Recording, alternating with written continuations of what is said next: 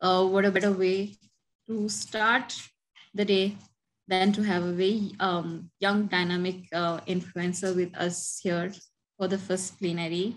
I, it's my pleasure and honor to invite Dr. Gaurav uh, Sharma um, from um, Dr. Gaurav Sharma is a member of parliament in, uh, in the New Zealand Assembly. Um, and to give you a short introduction, uh, he's volunteering to a work as a caregiver in a rest, uh, rest home inspired Dr. Sharma to pursue a career in medicine. And that's why the doctor. Uh, Dr. Sharma, upon qualifying as a doctor from University of Auckland, became involved with the New Zealand Medical Student Association. Here, he has been a proactive mentor and contributor to the next generation of doctors He's also the recipient of prestigious Fulbright Scholarship, which funded his MBA at the George Washington University in DC, USA. He became a senator and contributed to the GWU Student Senate and also spearheaded Hillary Clinton's campaign on university campaign, campus. Sorry. Um, thank you, Dr. Gaurav Sharma. We have a very wide time zone difference between here and New Zealand. and it's probably the end of your weekend. Um, um, not a really good time to be talking serious stuff, but we are so glad that you could make it and you're here with us. Um, really looking forward to hearing from you.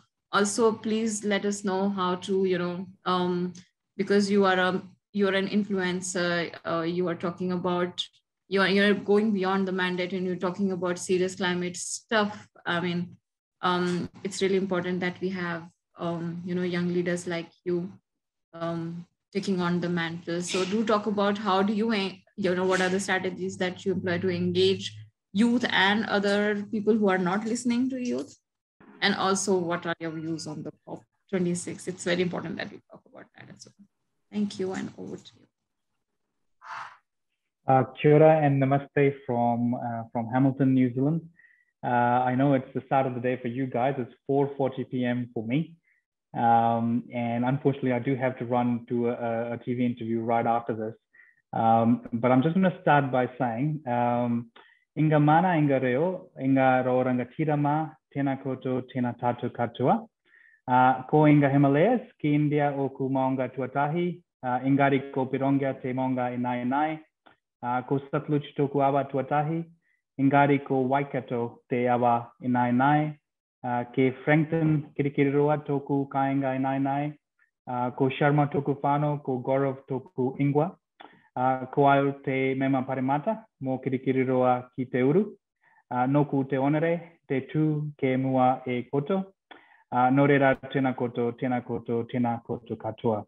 Uh, so this was just a way of uh, a Maori introduction uh, from my side to you guys. And you know, it's, it's a tradition in New Zealand uh, to start uh, by basically uh, telling people where they come from. So you know, people talk about uh, what is their mountain, what is their river, uh, you know, what land they come from. Just talking about giving people a bit of an idea of where they're coming from. And I think that is really important when we talk about climate change because we've got to talk about you know what it is that we're coming from, what things have we done, what things have we not done and where are we heading. Uh, so that's why I just wanted to give a little bit of an introduction uh, in Tereo. Uh, and also, you know, uh, in some of the sessions that I've seen uh, from uh, from the sustainability conference, we talked about, you know, indigenous voices, and you know, Maori being the, the, the people of the land in, in, New Zealand. I just really wanted to acknowledge them and their work as well and their involvement in this climate change debate. Um, in addition to that, I just wanted to uh, thank FES. I want to thank Sprout, uh, Manviji, Anuragji, Anandji, uh, and also want to acknowledge Sumeraji and all the work she's doing. I know she's speaking after me, uh, and the incredible amount of work she's done with the WAS uh, in bringing multiple issues, uh, you know, um, and raising those unheard voices. Thank you to you guys for for uh, doing this big conference, you know, logistically, it's very difficult to get people from all different parts of India, not just different parts of the world. And just before, when I was talking, uh, you know, I heard about how your volunteers are based in Orissa, they're based in Karnataka, uh, you know, Delhi, different parts of India. So, you know, it's really good to see people coming together uh, from all around India and all around uh, the world to talk about this very serious issue. Uh, even though it's the end of the weekend, you know, there's never a bad time to talk about serious issues like this. Uh, I also want to acknowledge the Indian Sign Language interpreters. Uh, Saurav, I think I saw uh, Gargi's name, and there was another person I saw. I can't remember their name now. Uh, but you know, it's really good to see uh, you know that inclusivity uh, of people uh, in this conversation as well. Uh, I was told that they're members of the LGBTQI community as well. And again, you know, because climate change affects all of us, it's important that we take everybody with us, and there is representation from different sectors on board. Um, I was briefly saying before that I'm the co-chair of PCAL, which is the Parliamentary Champions for Accessibility Legislation in New Zealand and it is a cross-party group. Uh, and the idea is that you know the bills that come through Parliament in New Zealand uh, have um, a focus on accessibility. So it's really good to see you know that we do have um, sign language interpreters on this call as well. And I really want to thank you for for doing that um, as well. Now, um, you know, talking about climate change, um, as we come together this week, uh, so to have the the world leaders who've convened uh, for the COP26 in Glasgow. And thankfully, for the most part, you know, we moved on from a time where climate change uh, itself uh, was being questioned uh, to a period now where we must all be held to account uh, over both our ambition uh, and our action. we do have a lot of work to do, but I remain incredibly proud to be part of a government that has done a lot of work, at least in the Asia Pacific region, to help mitigate the risks of climate change.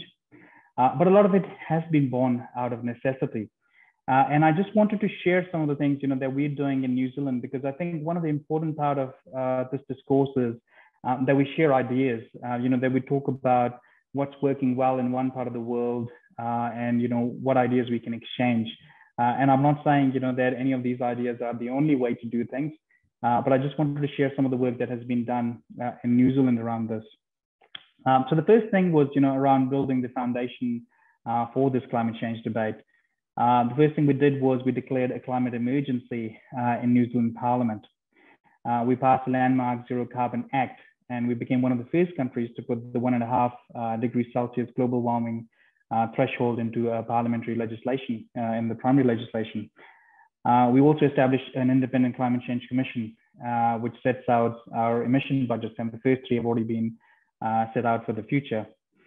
Uh, we also took uh, quite an important decision that we were going to end any new offshore oil and gas exploration. We overhauled the whole emission trading scheme and we put a lid on emissions for the first time in the history of, um, you know, in our government. Um, now we're taking the next steps. So uh, we want to be ambitious.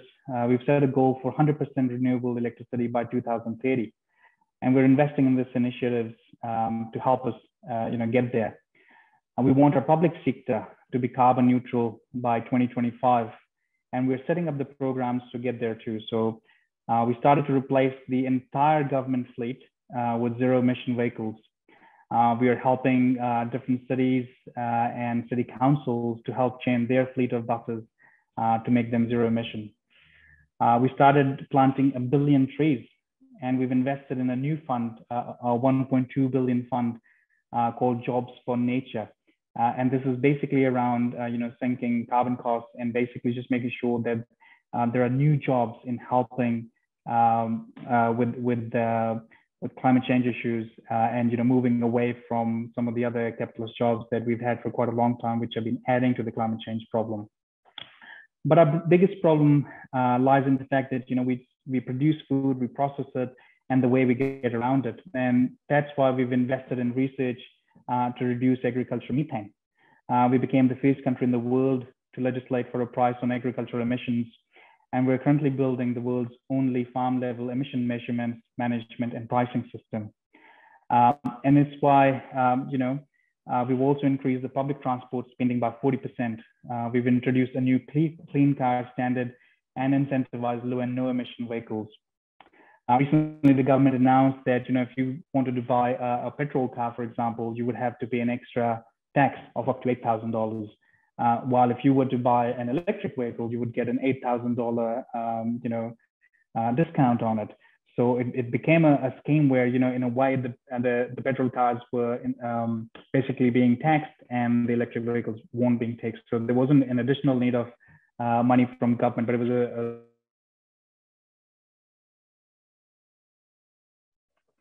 we invest billions of dollars now into buses, trains, cycling, walking infrastructure, which hasn't been the case historically uh, in New Zealand. Uh, we, are now investing in uh, electric vehicle charging infrastructure all around the country. Uh, we brought in a vehicle emission standards for new imports for the first time in New Zealand history. So before what used to happen was, you know, a lot of countries would dump their old petrol cars in New Zealand, uh, and there was no sort of standard uh, of to which you could hold people accountable when they were importing these cars. Uh, we brought back the mandate to include biofuels in petrol. Um, we're still using it. We're still going to be using cars for, you know, petrol cars for years to come, but we need to make sure, you know, that it's done in a way we are, we are decreasing our, um, you know, footprint uh, on the climate.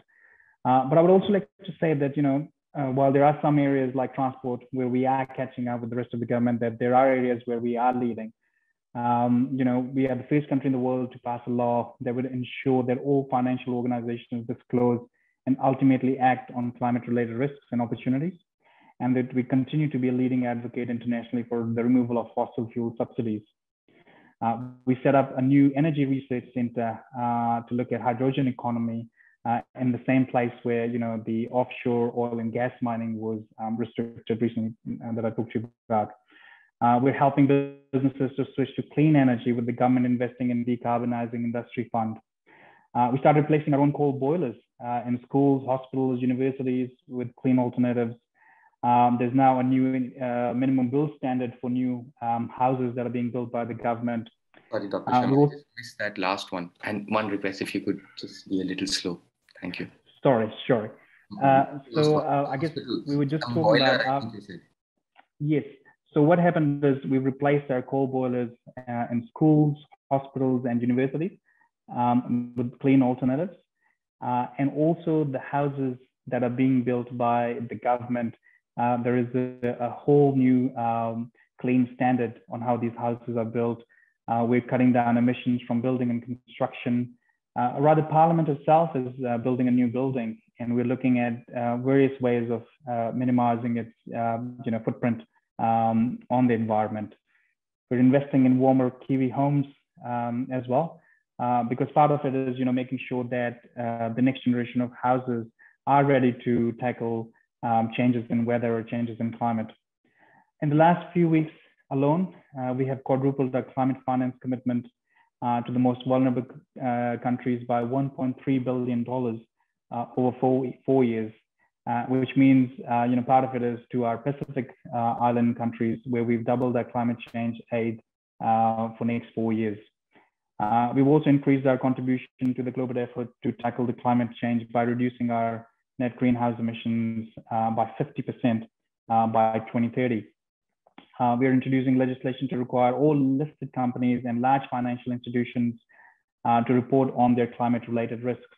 So you know where your money is going and you know what sort of impact it's having on, on the climate. Uh, but you know, no doubt there's a long way to go. And, and I would say, you know, the issue of climate change is connected with all the 17 of the UN SDGs. Uh, before I became an MP, I was working as a medical doctor in a high needs community in Hamilton. And I saw the impact of moldy homes and bad public transport on my patients' health. I saw how both uh, mental and physical health of people was affected by issues outside of health. Um, moving forward, uh, I guess, you know, we've talked about uh, a lot of things that the government has done over the years uh, in addressing some of these things uh, across the board. But I think moving forward, two of my biggest concerns around climate change are the, the minimal research we've done around climate refugees uh, and the lack of global plan planning for um, surge capacity in healthcare systems. Uh, you know, as COVID has shown us, we as a society have instilled in our population uh, to run towards healthcare organizations at times of excessive threat uh, from whether it's man-made or natural disasters. We need to make sure that steps are taken to enhance the preparedness of the medical and public health communities uh, to any global threat uh, from climate change. the hospitals need to be prepared to deal with response to events uh, which go beyond the day-to-day operations and management of patients and diseases. Uh, the clinicians and managers that run the health system need to be equipped uh, to handle any crisis that increases the surge capacity of the hospital system. Uh, a few years ago, uh, this is when I was still uh, at medical school, and you know, it was interesting because we were still, you know, we were talking about climate change then. We are talking about climate change a decade on, and um, you know, I guess one of the sad things is, you know, I sometimes we'll be talking about climate change two, three, four decades from now still, uh, without, you know, firm action. Uh, but a few years ago, uh, when I was at the university, I wrote and presented a paper um, that examined climate change as a population health issue uh, for New Zealand and evaluating its potential impacts and critically appraising the existing strategies we have in place. Um, the specific paper initially canvassed this enormous um, issue uh, fully, you know, in its entirety and looking at its um, impact on human health. Uh, and, you know, as I talked about before, human health is affected by, you know, threatened food supplies, re-emerging infectious diseases, poor water quality, uh, impact of extreme weather events, impaired ecosystem functioning, you know, displacement of vulnerable populations, and the loss of livelihoods. So there's a lot of things that go hand in hand uh, in impacting that human health from climate change. Uh, but what we offered was an intervention to address climate change within a population context uh, by focusing on one specific thing, and that was around migration within the Pacific. Uh, we looked at Tuvalu. You know, it's one of those countries where um, the sea levels are rising, uh, and there and there is prediction that you know in the next few years uh, it will get to a point where people from Tuvalu will have to migrate to other countries to survive, and that's what I mean we are not actually looking at these climate change refugees. We're not looking at what will happen to um, country like Maldives, um, you know, country like Tuvalu, where once the sea levels rise, where will these people go? And you know, it's very easy to uh, even say that you know we will take them in into New Zealand, but moving a whole population into a different country comes with its own set of um, challenges. Uh, as I talked about, you know, surge capacity is something that we really need to um, to be looking at. Uh, it, it's just the health system, but also across the board. Uh, because you know, if we are not uh, mitigating the risks now, um, the, the climate change refugees are not too far away. Uh, and I think it is important uh, and appropriate that the national planning scenarios uh, include the surge capacity in medical and public health fields. Um, you know, otherwise, um, the outcome for climate change related health impact will be fruitless despite our blessed planning uh, and intention. Um, and, and I guess the way I would summarize it is, you know, failing to plan is planning to fail. Um, so, uh, so I think some of some of those, I guess, are some of my concerns moving forward. You know, the healthcare system and how it will deal uh, under such a threat, uh, but also what would happen to to um, climate change refugees uh, coming in from different parts of the world. Uh, one of the questions you asked me right at the starting, um, you know, was how can youth um, get involved. It's been interesting to see, for me at least, you know, that the two groups of people who've been very involved in this climate change discussion are, are the ones who are either quite young. Uh, you know, in New Zealand, we had a, a school strike uh, where 170,000 students, you know, that's a big number for New Zealand. We're a population of 5 million. 170,000 students marched uh, all across the country, and many of them came to, to the parliament um, to talk about, uh, you know, action that's needed on climate change.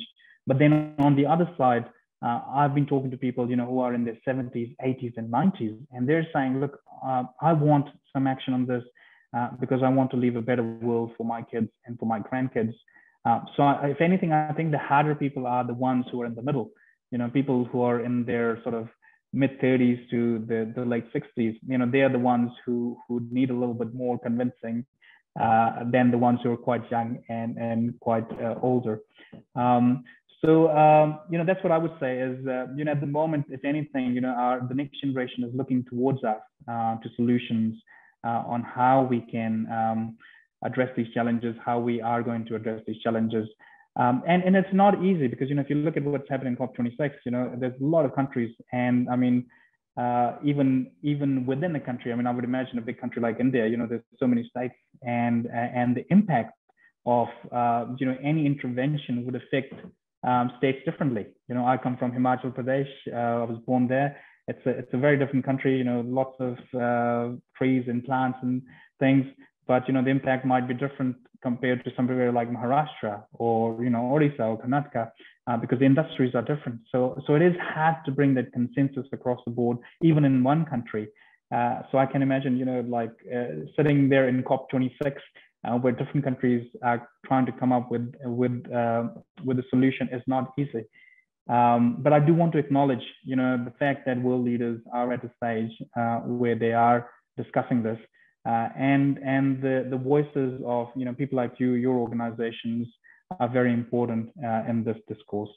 Um, so thank you so much uh, for giving me this opportunity to speak. I've literally got two minutes before my uh, interview on TV. So um, I think there's quite a few questions here as well. Would you yeah. like me to go through some of those or? Um, um okay, so firstly, thank you so much. I think that was a very, uh, I mean, it's uh, one thing to read it in the newspapers or other, another thing to, you know, hear it from an MP on what all New Zealand is trying to do, trying to achieve. And it's, uh, I mean, there is a lot of lot to learn there, uh, especially with, in terms of how you are uh, going, you know, how the strategies for industry, etc. are. Um, there are okay, two three questions here. Uh, I think um, you can combine the answers because here we are talking about two, you know, two stakeholders at the different side of spectrum. So there is industry, um, Rahul would like to know how, you know, considering the strength of fossil fuel industry and the power they wield over decision making, what are the challenges you face in implementing uh, climate change policies? And uh, on the other side, uh, Purnima Palekar would, want to know, you know, uh, there is a lot of uh, ancient knowledge with indigenous tribes of New Zealand and how, how are that, how is that being, uh, you know, utilized to tackle climate change? If you have any experiences with the tribes of New Zealand. And yes, so yeah, yeah. Sorry, sorry, I've only got one minute, so yeah. I really have to be quick. Please go ahead. And, I and I apologize for that. Um, you know, when it comes to indigenous population, I think one of the things, as I said, um, New Zealand does really well is, you know, whether it's starting from a conversation, and you know, I gave that introduction right at the beginning, um, to consulting on policy. Uh, you know, our, our uh, Maori communities are very involved in that um, discussion uh, across the board. Um, you know, we've got some really good leaders uh, within the ministry, like, you know, our cabinet is full of uh, Indigenous ministers as well, um, you know, from our Foreign Affairs Minister, uh, Mahuta, um, to, uh, you know, we've got a, a specific minister who's responsible for Māori affairs as well. So, you know, having a minister who is, who is involved in Indigenous affairs also means that their voices are heard. Uh, when it comes to, to business and other sectors, you know, obviously, um, there is resistance. As I said, you know, there will always be resistance from whether it's um, different sectors or, you know, as, as we were talking, there could even be different states or different regions because their economies are affected in different ways. Um, but it is about working together. As I said, you know, we we banned um, uh, offshore, um, you know, permits for gas uh, and oil. Uh, and you know, and that specific region, um, there were a lot of people who were concerned, you know, about the economy. They were concerned about jobs. Um, so as we said, you know, we're looking at the hydrogen economy, you know, so the government is doing other things there uh, to help with the job losses, to help with planning for the future, for to help with just transition. Um, so, so all of that is part of the consultation. And I think the, the, the, biggest thing here is, you know, that the main word here is a key word is consult, consultation. That is very important across the board, whether it's on an international level or whether it is on a, on a local level uh, as well. Uh, but that consensus again is difficult to get, uh, and I completely acknowledge that. Um, so I guess those are my answers. I, am not very comprehensive, and I really apologize. I do have to run away uh, for a TV interview. Um, but once again, you know, thanks so much for all the work you guys are doing. Uh, you know, it's it's not a one-off debate. I'm sure we will continue to have these discussions on social media and other platforms as well. You know, feel free to message me. Feel free to write to me. I'm on email, email Facebook, yeah. uh, Instagram. Uh, but thank you for all the work you guys are doing. And, you know, maybe we can have a follow-up session from this in, in a few months time and see where things are. Because I guess part of the thing is, you know, when, when COP26 happens, uh, everyone's focused on it. And then three months later, you know, as with everything, news cycles, you just move on from it. Um, so hopefully maybe we can catch up after that yes too. yes yes and if it is okay with you we can also post the comments on questions uh, or to your email address and if you have time just, just then we'll pass it on to the people who asked yeah definitely thank, thank you Gaurav. it was thank uh, you so much धन्यवाद सबका धन्यवाद and we'll catch up thank you आपका भी बहुत बहुत धन्यवाद hopefully to see you face to face in Delhi maybe next year Bilkul, we'll, we'll catch up on chai. Yeah, yeah, sure. Thank you. Bye. Thanks. Bye. Thanks for joining us. And um, after that very um, uh, positive um, input from Dr. Gaurav Sharma, I would like to call upon uh, Ms. Purnima Palekar to introduce our next, another very uh, influential and uh, experienced uh, panelist, Dr. Sejal. Thank you, Manviji. Uh, uh, and thank you very much for covering up for me because uh, I didn't realize that uh, I was late or were you early? I don't know. But yeah, thank you very much. Um, I was supposed to introduce uh, Dr. Sharma. Yeah, so um, uh, I'm happy to introduce Dr. Sejal Worah now. she'll be talking about the eco restoration of Jabarkhet.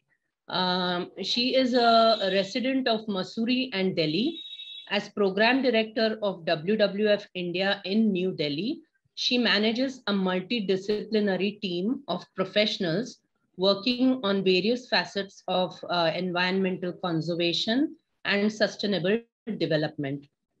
Prior to this, she spent over a decade conducting training and supporting participatory conservation approaches in South and Southeast Asia and in East Africa.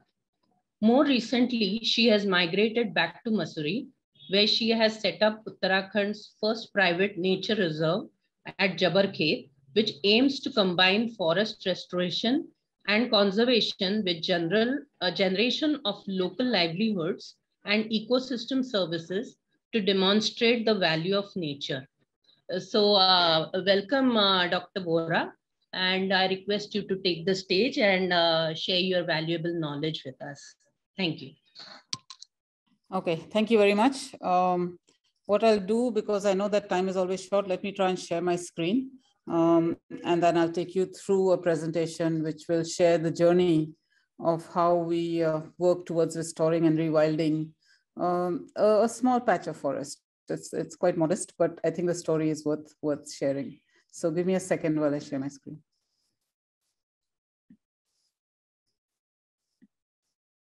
Can you see the screen? Is it visible? Okay. Yes. Perfect. Okay, so let me start uh, this story with uh, with a story. Um, so Jabarkhet is is basically a small settlement uh, outside of Mussoorie in Uttarakhand, and uh, this forest that you see in this picture is actually a privately owned forest. Uh, there are quite a few uh, privately owned forests in India. People may or may not know uh, because one assumes that all forests in India are owned by the government. Um, but there are actually these small patches of forest and they offer a very unique chance for conservation. Uh, and one of the things that we tried to do was to create a model uh, where private forest owners can actually be incentivized uh, to conserve their forests rather than what they're trying to do now is to sell them uh, and get them developed. So, uh, so this is this is a small attempt at that. let me let me take you on on the journey. So, so Jabarkhet, uh, you know, this, this is a small little hillock that I used to trek in and climb in when I was a child. Uh, when I was about 10 or 11, we started trekking to this area. Uh, and we used to keep coming here for picnics, hikes, etc. And then, of course, uh, you know, it was a magical place. When we are children, uh, everything, you know, outside in the forest is magical. Uh, I then went away. I left India for many years. And when I came back, the first thing I did was I made a beeline for this childhood place of mine. Uh, and I was shocked. Uh, I was shocked to see that it had actually degraded like anything, or maybe it was already degraded, but I had no idea because as a child, I didn't know what I knew as an adult and as an environmental conservationist. Um, so I saw this, this very, very degraded and overused area. It was full of trash, uh, literally full of trash with people just coming and, uh, you know, with an absentee owner, it was a typical tragedy of the commons kind of scenario where everybody did everything uh, and nobody really cared about the place.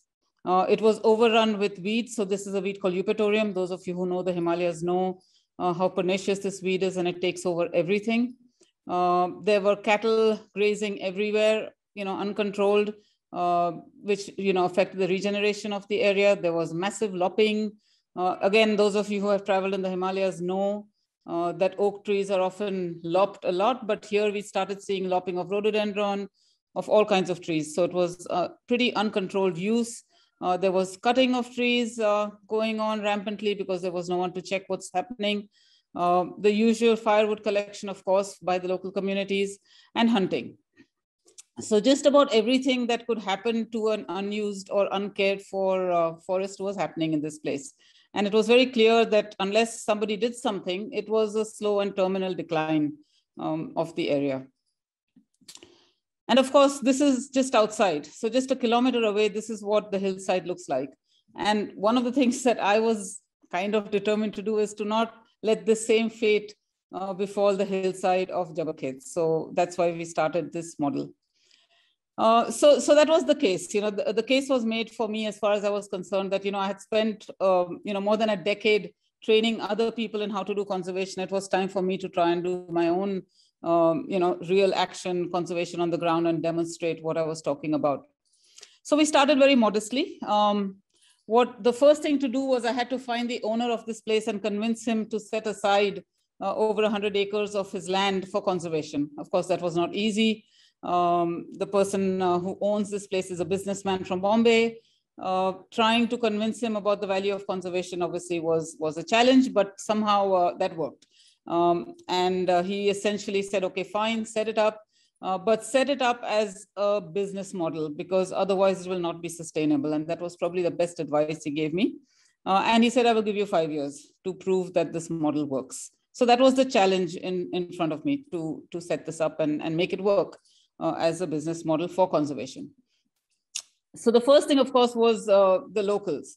So local communities who were using the place. It took a lot of convincing, a lot of meetings, a lot of discussions, uh, a lot of skepticism because really people didn't believe uh, what I was up to. They had never I thought of an idea of setting aside a place for conservation. How would it benefit them? Uh, you know, their current benefits in terms of grazing, firewood, grass collection, all of that would go away uh, what would they get in return?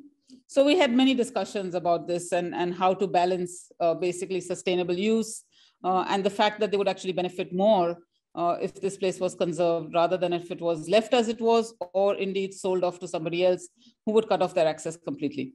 So, so that took a while. Of course, we had, uh, you know, we had instances where people were so upset with us, they would break our fence, they would break our walls, uh, they would write horrible things about us. So the first year was was a real challenge, uh, where we were just trying to. And you know, these fences are are simply uh, you know notional. They're not there to stop anybody, but just to give an indication. And we we actually don't have a fence around the reserve today. It's just social fencing uh, that is that is protecting the area. We then started the restoration. So uh, we started restoring the springs, the water sources uh, in the area we removed about 800 kilos of trash. As I said, the hillside was filled with trash. So we were busily removing trash. We removed uh, several tons of weeds of eupatorium to try and create areas where restoration was possible, where natural grasses and vegetation could come back. Uh, we made a few small water holes uh, for wildlife because there's actually no water except the spring, which is very was very disturbed in those days. So we basically started creating a little mini habitat uh, undisturbed habitat for wildlife because a lot of the wildlife in this area uh, had disappeared and we were hoping that it would uh, come back if we created uh, the right habitat. We also started a training program for, for guides. So we trained local boys uh, to become nature guides uh, and to employ them in the reserve. We also generated employment for the women. So one of the first employees of the reserve were the local women uh, who helped us with the management and, and caretaking of the reserve. Uh, and, and in return also controlled and managed the grazing and, and the firewood collection. We didn't stop anything, but we were just trying to regulate it, manage it, and zone it. Uh, then we started our first trails. So, so the idea, the model that we had in mind was that we would create uh, nature trails and we would have these uh, local boys take people on na guided nature walks uh, and we would charge tourists for it. And that money that was generated would sustain the reserve, pay the salaries of the staff, and hopefully create a small corpus, uh, which would make this, uh, this whole model sustainable. Uh, of course, people laughed at me when I first said that and said it's never going to work. Uh, because why would anybody pay to go for a walk? They can go for a walk anywhere in Mussoorie. Uh, you'll have to have residents, you'll have to have campsites, you'll have to have uh, you know, some accommodation, selling stuff. And I just refused because our model was about restoration. It wasn't about tourism. So uh, so we we resisted all that and said no we will give this a try. Uh, and we created a network of nine or ten trails um, and and we trained up uh, these these youngsters and and we kicked off with these initial walks. What happened? Uh, so that was the vision. Um, it's been now five years uh, since we opened the reserve. And uh, of course our water sources are now flowing perennially. And one of the things we're doing is looking at the discharge volume and seeing if we can even start looking at a small cess uh, because this entire forest is protecting the water source of uh, the entire cantonment of Mussoorie, uh, one side of Mussoorie. So we are toying with the idea of looking at uh, how we can get people to um, sort of value the, the ecosystem services that are created by this forest. Uh, our trails are no longer full of trash, uh, but they're actually very beautiful in different seasons of the year. Um, surprisingly enough, people are incredibly happy to come and walk on these trails and pay for it. Uh, so when people said nobody will pay to come on your trails, uh, that proved to be completely wrong. And 99.9% uh, of the people who come are incredibly happy with the experience, even though it's just a walk with, with our guides.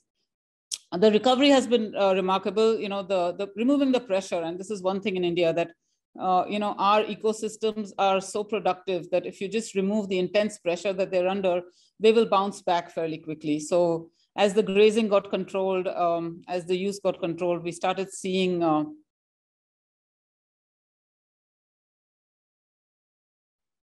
um, the, the forest canopy, as you can see from what you saw, a lopped, degraded canopy. We're now seeing a lush uh, you know, this is about 10 years of protection and uh, the, the forest is coming back to life. Um, and then, of course, we started seeing the wildlife coming back. I used this picture. This was my first uh, leopard picture in a camera trap. Um, and he posed for us so nicely in the evening light. Uh, and I was thrilled when I saw this. Of course, now uh, we have hundreds of these, so I'm not so so excited anymore. I'm always excited, but not as excited. But this was this was our first sign that um, the wildlife was moving back. So what did we learn? I wanted to share with you in, in a quick uh, overview the lessons, because that is to me the most important thing. Many people ask me how they can replicate this model. Uh, so I just want to talk about those two or three or four things that I thought uh, were, were also lessons for me uh, along the journey. So one is that, you know, we're small, but we're not insignificant. Uh, so initially when I started this, you know, 110 acres, uh, I thought, you know, what is 110 acres? It's nothing, you know, in the scheme of things.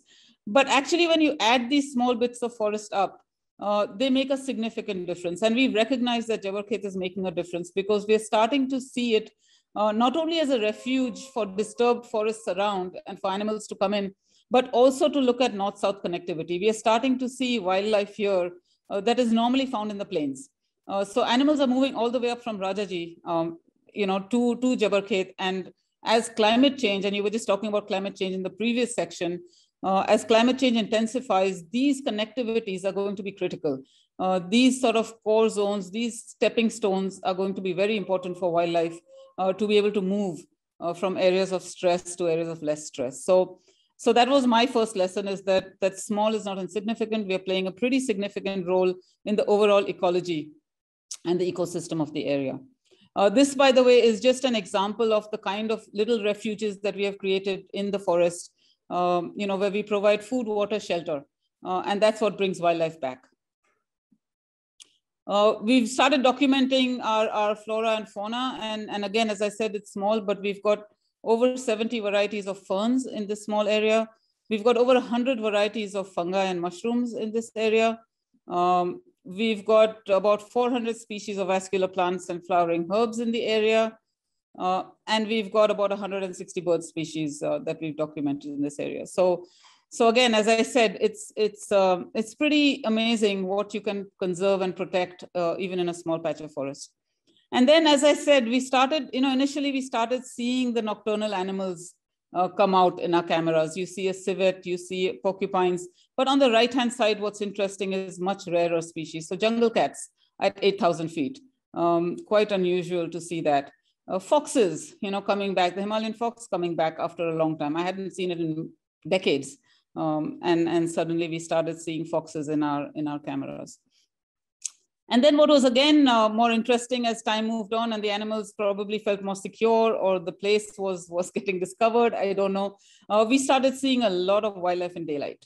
Um, so, so initially it was, it was them coming out at night, but increasingly in our cameras and even on our walks, uh, we started seeing um, wildlife in, in, in daylight. Uh, that was obviously a barking deer. This is a goral. We have a very healthy goral population in the park. Um, that's a leopard cat, again, in broad daylight. Generally, you don't see leopard cats in the daytime, um, but we see them. And this picture is, is particularly interesting for me because as this leopard cat was coming to the waterhole, just across the meadow where you see the trees was the inauguration of the reserve. Uh, and we had about 100 people there with media and forest department ministers, all kind of making all this racket. And this cat was just across uh, casually moving across the, the meadow. So, uh, so that was a nice omen for me. Uh, as I said, uh, leopards moving around in daytime uh, increasingly, all, I mean, pretty much all the time. Uh, we have we have camera traps on the trails, and often we see that you know a group has just walked, and two or three minutes later, a leopard walks on the same trail. So essentially, they're watching us, they're keeping their distance, and they're using the same habitats. We've had no conflict so far, touch wood, um, and one of the things I'm also trying to prove with this model is, is the fact that humans and wildlife can coexist. Uh, if you manage the area and you don't actually hunt them out, uh, there's every potential in a crowded country like India for humans and, and wildlife to coexist. We have everything using the same trails, from joggers to leopards to school kids to um, you know villagers collecting grass to cows. Uh, it, it's it's pretty much a free for all for everyone. Uh, sambar, again, very unusual uh, because sambar generally gets hunted out uh, before it can reach the mountains.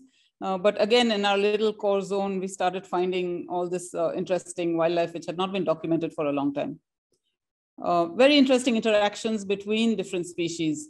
Uh, so we are seeing all kinds of interaction between goral and langurs, between koklass pheasant and, and barking deer. I'm actually still waiting for somebody to come and do some interesting wildlife studies here.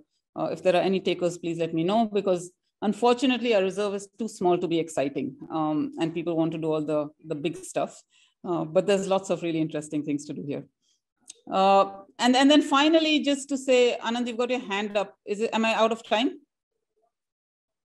Uh, no, no, that, that was for saying I will come and do the research. Volunteer already. okay. So and then finally, I just want to end with with the other interesting and exciting. So as you know, these are these are successive pictures as time goes on. As I said initially, uh, nighttime, then daytime. Uh, then we started seeing breeding, and and of course that was also very exciting. So we've started now seeing breeding of of all kinds of uh, critters over there and all kinds of wildlife. This is obviously a goral with a young. Uh, that's a barking deer with a young. Uh, that's a wild boar with little piglets.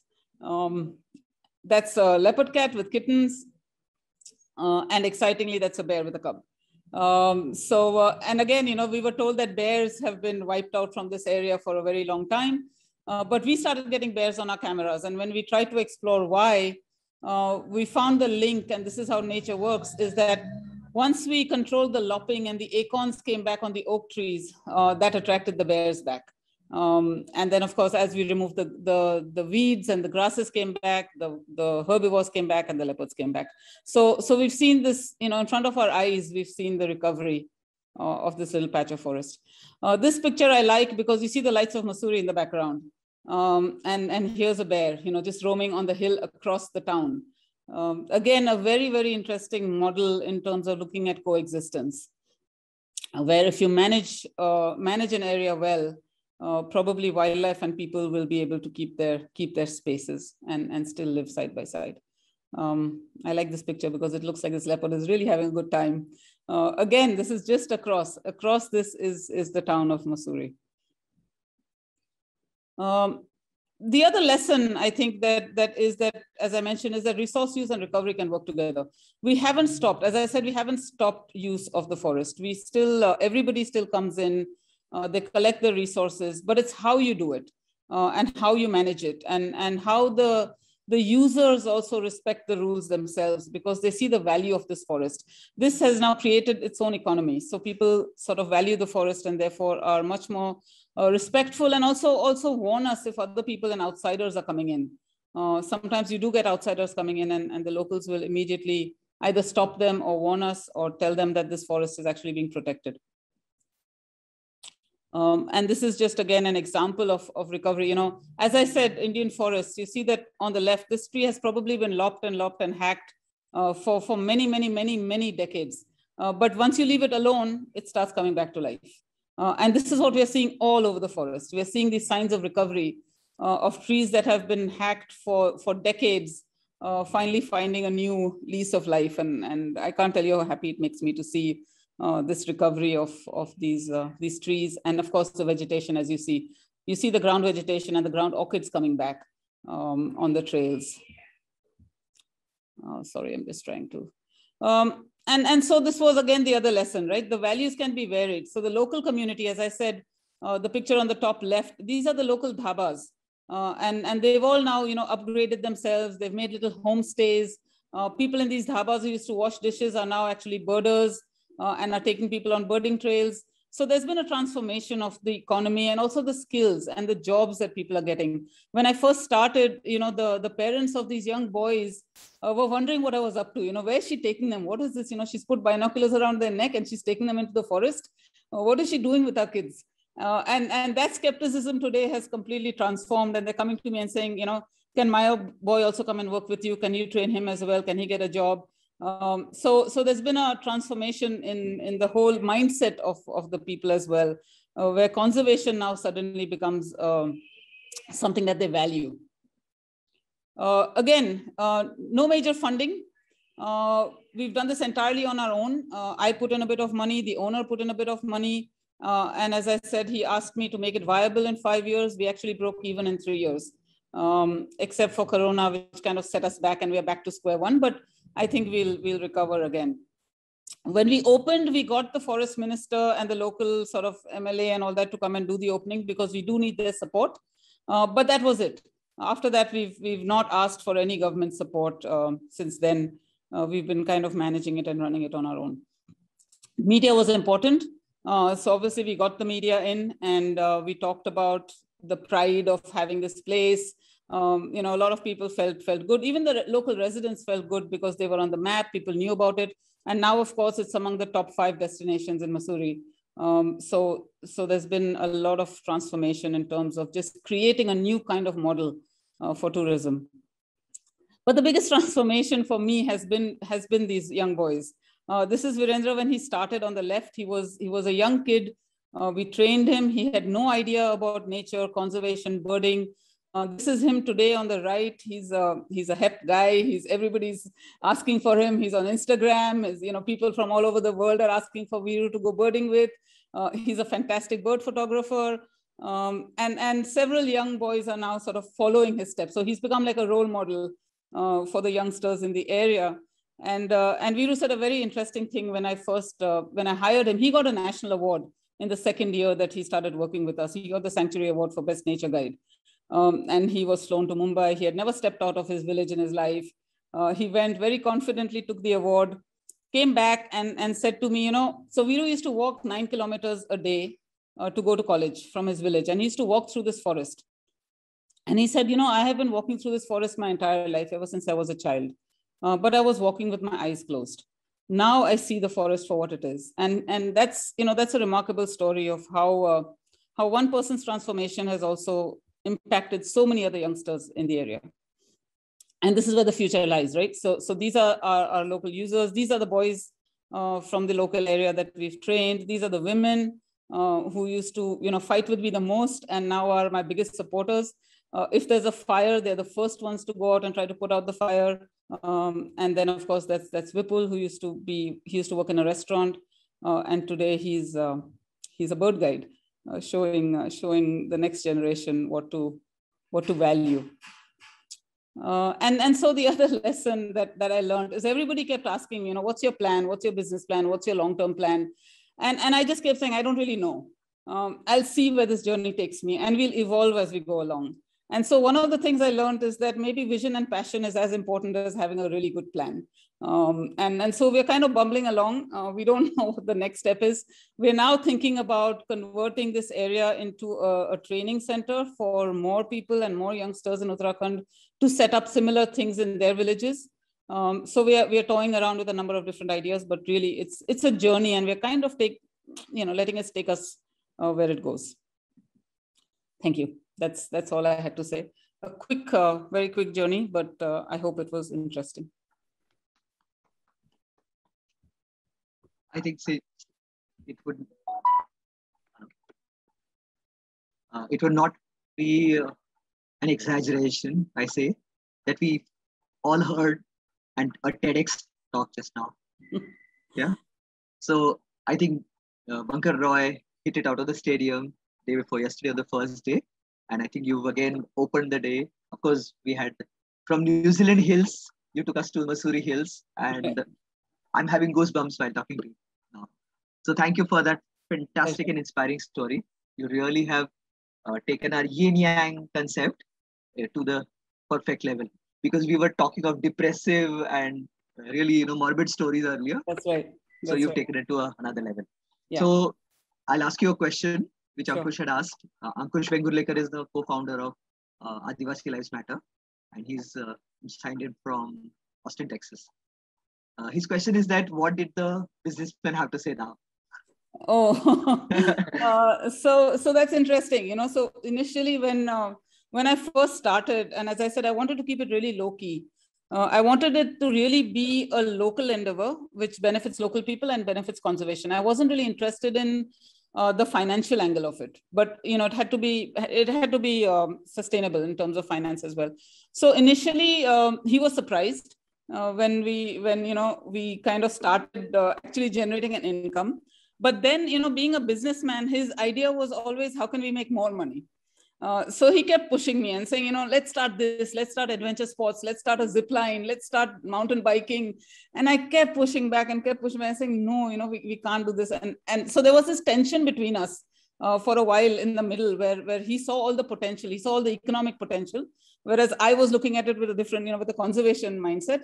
But then what happened, it's been interesting because as, as the place started getting recognition, you know so so not only from people like you but there were newspaper articles the government was getting interested in putting it into their uh, you know propaganda uh, it was recognized as an oecm from india globally uh, you know all of this stuff then his whole thing changed because suddenly the name and fame uh, you know, and his name was in everything, right? Because he's the owner. So I always give him credit. I always made sure that I gave him credit uh, so that he also gets recognized. So now suddenly he's like, oh wow, you know, what a great success story. We have to document why it's successful, this, that, and the other.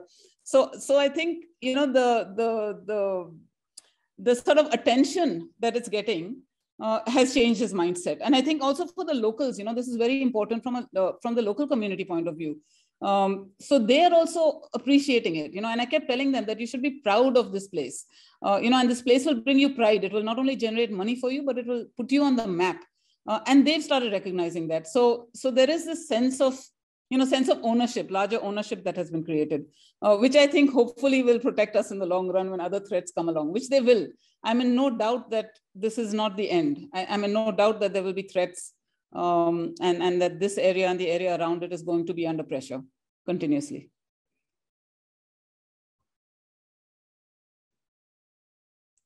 I can't hear you, you're muted. Sorry. There's a second question uh, from Sushmita Kamath, who signed in from New York. Incidentally, uh, Long Island was hit by a tornado yesterday. Yeah, so, yeah. Uh, her question was that after your success story, have people come to you with private parish patches saying, do this to this yeah. as well? So, so two kinds of things. So one of the things that I'm really interested in is that we are managing one side of this hill. You see this picture here. Um, that's that's on your screen. Um, so the hill that you see on the in the foreground is actually forest land. Okay, so that is a reserve forest that belongs to the forest department. Uh, to the left of the sign is us, and to the right of the sign is another owner who's the cousin of this owner, who, and they don't get along with each other. Um, so my main uh, motive was to get him on board uh, and to manage this as one area because the other side is already protected. Um, so so you know whenever he would talk to me whenever he would uh, come to me and he'd say i would tell him that come and join us he says no no i want to sell this land. It's a liability for me. I get no benefit from it. I just want to sell it to a developer. Let the developer do what he wants. Uh, and that was my biggest fear. So so i've been uh, kind of trying to get him on board. So every time he would ask me you know once in a while he says huh, how's it going? How's it running? So i say it's going really well. You know lots of people are coming. It's it's fantastic just trying to get him on board and he was just skeptical. Interestingly uh, last year unfortunately corona happened but the year before corona um, he came to me and he said i want to make nature trails on my side. Um, and i'm going to work with you to to get this side also because i now see that you're you know this is actually a, a viable economic uh, alternative. So i'm very excited. Uh, hopefully you know if that hill gets saved. That's one side of it uh, but the other thing, people do come to me. So people who visit, you know, come to me and say, "Oh, I'm in Karnataka, I'm in Sikkim, I'm here, I'm there. How can I set up a similar thing?" So you know, every model is going to be unique. Every private conservation effort is going to be unique because in India the land tenure is very very complicated. Uh, so here, what we've done, and and it's a it's probably not replicable, is that you know initially I wanted to buy this, but I couldn't. I couldn't legally buy it because of the cost and this and that and you know circle rate. So what we've done is we've actually set up a company so this is called Jabarkhet Eco Development Limited. It's a, it's a company. And what the owner has done is he's leased the land into the company for one rupee a year. So we've essentially uh, set up a private company uh, with this land being the collateral for the company. Now this is unique, right? Because we worked out a model. Somewhere else you might buy the land. Somewhere else you might have a different agreement with the owner. Uh, you'll have to find your own uh, kind of way around it. Uh, but everything's possible. You know, I thought this was impossible when, when I first realized I couldn't buy it. I was so dejected. I was like, oh shit, you know, here goes my idea up in smoke. Uh, but you can work it around, you know. So so be creative, be innovative, and and find a way. Uh, and my belief, you know, my future vision is that every piece of privately owned land in India becomes a conservation area, because in India today it's going to be these small patches. Uh, the large patches are already protected. It's these small patches that we are losing without even realizing it. So the more of these small patches of forest that we can protect, um, you know, the better for conservation and for the future of the country. Uh, thank you, Sejal. That was fantastic. So I can uh, say that you ticked off so many boxes of uh, what a successful business model looks like. But you also ticked off so many conservation uh, benefits or what I call as ecological services.